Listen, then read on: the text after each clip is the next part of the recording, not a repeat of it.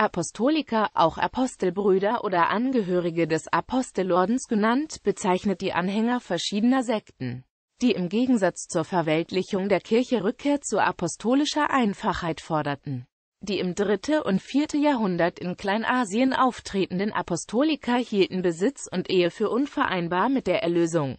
Ihre Bewegung wurde jedoch bald unterdrückt. Im 12. Jahrhundert bezeichnete sich ein Teil der Katharer am Niederrhein als Apostoliker. In erster Linie bezeichnet der Name aber die Anhänger einer im 13. Jahrhundert in Oberitalien entstandenen antikirchlichen Partei, die dort später von der Inquisition verfolgt wurde. Ihr Stifter war Girardo Segarelli, ein Händler aus Parma, der seinen Gütern entsagte und ab 1260 wie die Apostel gekleidet, bettelnd und Buße predigend das Land durchzog. Das Zweite Konzil von Lyon hatte 1274 die Institutionalisierung neuer Bettelorden ohne päpstliche Billigung untersagt und Papst Gregor X. hatte 1274 die Bewegung der Apostoliker scharf verurteilt, was von Nikolaus IV. 1290 bestätigt wurde. Segarelli wurde daher ca. 1280 vom Bischof von Parma gefangen gesetzt und 1286 aus der Diözese verbannt.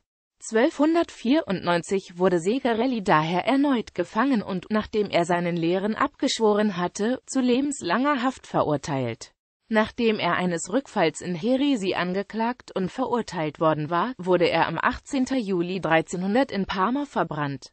Zum Nachfolger Segarellis als Führer der Apostoliker erklärte sich F. Ferradoccino der in prophetischen Sendschreiben den Untergang des Papsttums und das Erscheinen eines endzeitlichen Kaisers zu beschwören begann.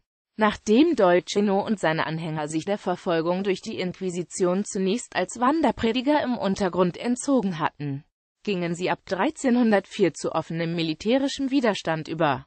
Sie verschanzten sich auf einem Berg namens Parete Calva und begannen in den umliegenden Diözesen Novara und Facelli einen Guerillakrieg gegen das ging sie aufgebotene Militär, wobei sie ihren Unterhalt durch Raubzüge und Brandschatzungen in der Umgebung sicherten.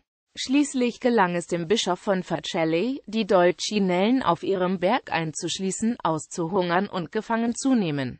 Dolcino wurde zusammen mit seiner Gefährtin und spirituellen Schwester Margareta sowie 150 seiner Anhänger am 1. Juni 1307 auf dem Scheiterhaufen verbrannt was im Wesentlichen das Ende der Bewegung bedeutete, obwohl es in den folgenden Jahrzehnten einige Male in Norditalien, Spanien und Frankreich zum kurzen Aufflammen kam